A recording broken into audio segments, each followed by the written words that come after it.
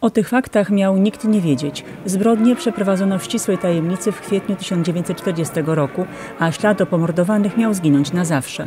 W 77. rocznicę tamtych wydarzeń ulicami Kielc przeszedł czwarty Marsz Katyński. Tradycyjnie wyruszył z ulicy Sienkiewicza. Przypominamy i chcemy brać udział w przypominaniu Kielczanom o tej tragedii, jaka miała miejsce w Katyniu. Nie tylko o tym, że został tam rozstrzelany kwiat y, y, oficerów polskich, ale przede wszystkim została rozstrzelana polska inteligencja i był to początek niszczenia y, warstwy kierowniczej, rządzącej w państwie polskim. Był to początek niszczenia planowego, niszczenia państwa polskiego. Obok przedstawicieli grup rekonstrukcyjnych oraz służb mundurowych w marszu wzięła udział młodzież szkolna, dla której na pewno była to lekcja historii i patriotyzmu. Każdy młody człowiek powinien wiedzieć, co się stało w Katyniu.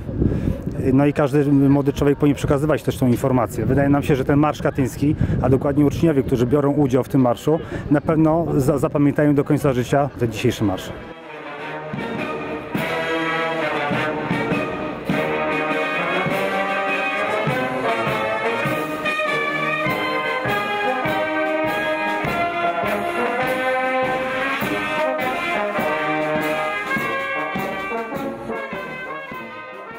Oficjalne otwarcie Tygodnia Katyńskiego odbyło się na Kieleckim Rynku. Jarosław Szarek, prezes Instytutu Pamięci Narodowej, przypominając zbrodnię sprzed 77 lat, której łączny bilans to niemal 22 tysiące osób, podkreślił, że przez wiele lat prawda była zakłamywana.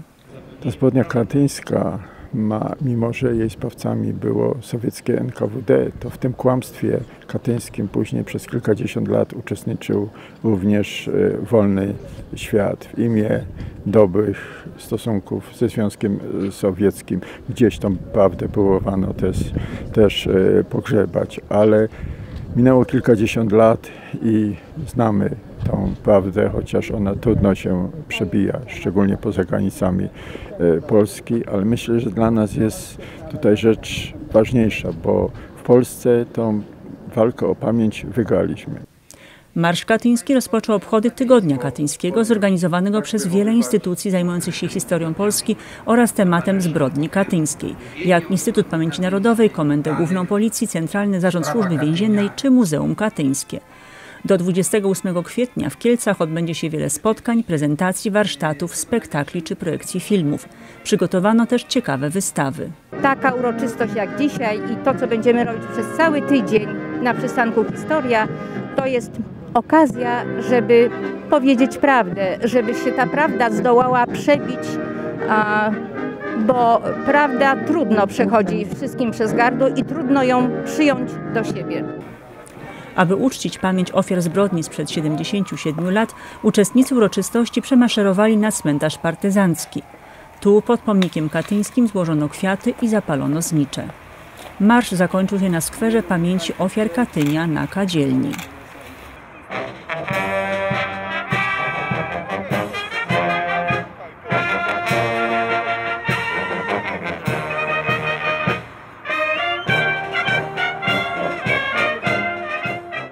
Pamiętamy, ale zemsty nie chcemy.